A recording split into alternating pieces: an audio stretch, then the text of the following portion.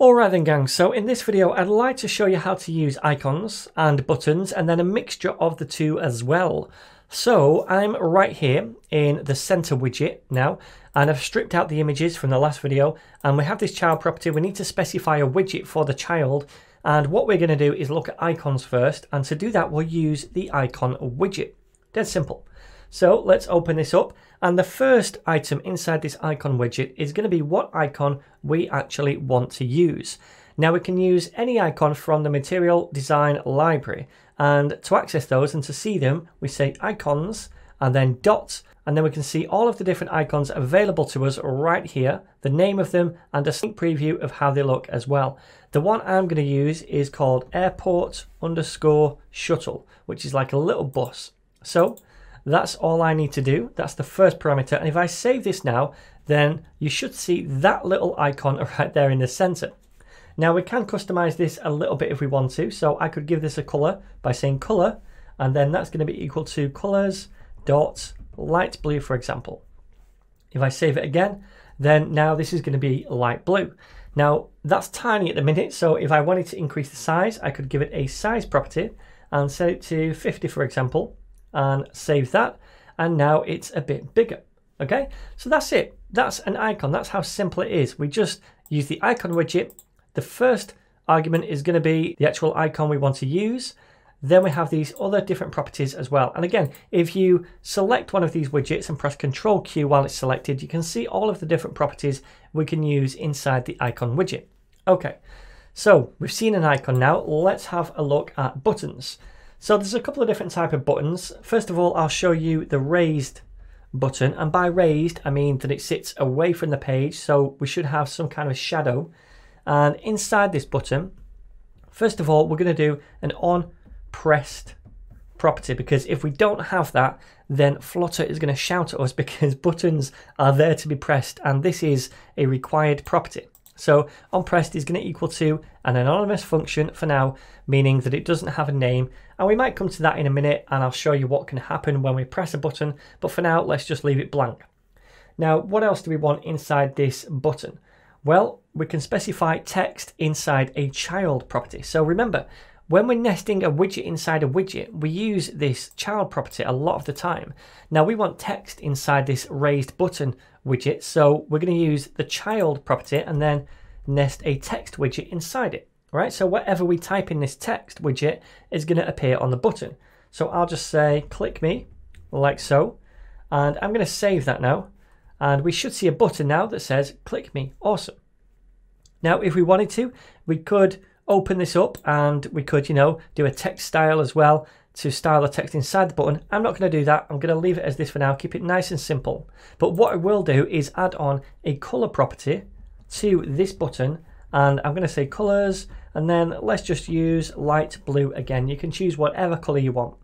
Save that and it says click me. And if you look really closely, by the way, you can see that this is a raised button because it has a little shadow. It's raising it away from the page, giving it that kind of 3D effect. So that's a raised button. Just as easily, we can do a flat button. So I can say flat button and then save this. And then now it's going to take away that shadow. So that's the major difference there. One of them has a shadow, that's the raised button. One of them doesn't. Okay, so I said I'd come back to this on pressed property right here. So this on pressed property takes a function as a value. And inside the function, this is code that we can execute when someone presses this button. So for example, I could do something like print a statement to the console and I'll just say, you clicked me. Okay, so now if anyone ever clicks this button, then it's going to fire this function and print this to the console. Now I'm going to save it and I'm also going to open up this run tab down here and I'm going to go to click me and you can see now this is printed to the console. So whenever anyone clicks on this button, now this function is going to fire. I can do it again and it happens again. Awesome. So that's buttons in a nutshell. And again, if you click on this, press Control Q, you can see all of the different properties that we can give to a button as well. So now I'd like to show you how to add an icon inside a button with some text as well. So let me now get rid of the flat button. And what I'm going to do instead is say, okay, we'll have a raised button And then I'm going to also say after this button dot icon. And that means basically we want an icon inside this button as well. So inside this, I'm first of all going to say on pressed. I'm going to leave this as a blank function. We don't need to do anything inside it. And then under that, I'm going to do an icon property. And this needs to use the icon widget. And then the icon I want to use is going to be just the mail icon like that. Now, I'm not going to edit with the color of the icon or anything like that. I'm just going to leave it as is. The next property I'd like to do is going to be a label property. And a label property is going to be the text which sits next to the icon. So I'll just use a text widget for this and the text can be mail me, something like that.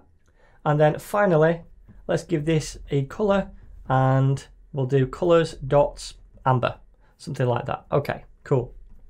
So if we save this, now it looks something like this. And again, if we wanted to customize the icon with the color and the size we can do, same goes for the text. We can make this white and a bit bigger, something like that. It's up to you. All the customization options are there and available to use. But anyway, that's how we add icons inside buttons like this. Now, I want to show you one more thing, and that is something called an icon button, which is basically just a small icon which can be pressed, basically. So let's get rid of this again. And finally, I'm going to say this time we want an icon button. And then inside this, we need the on pressed property first of all, which is going to be a function. We're not going to put anything inside that function for now. We know how it works now. And then underneath that, I'm going to say the icon is going to be an icon widget. And we want the icons and then dot. Let's just use alternate email, which is the at symbol. And then after that, we'll specify a color and we'll make this amber. So we'll say colors dot amber like so. Okay, so have we done this correct? I think so. Let me save it now. And now we can see this little at symbol doesn't look much different from when we just had an icon. The only difference is now it's pressable and this function will fire when we press it. So let's just say print and then you clicked me like so. Save it.